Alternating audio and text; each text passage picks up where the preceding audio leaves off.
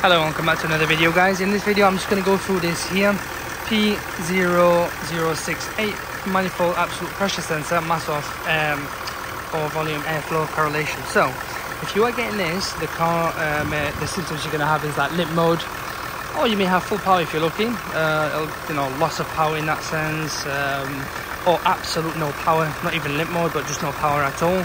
Um, engine management light will be on most likely now Range Rover, I know they are common for this specific one, okay? So if you are getting the top one, it's to do with this here.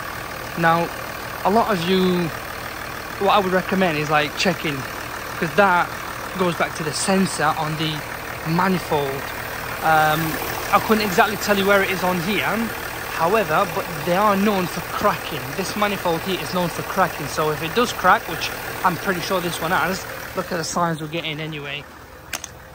So that's what you get. And also, if you look at here, you see how it's oil oily? They're the signs. So what that means is this sensor, the manifold pressure sensor, is actually detecting that there is a leak in terms of air.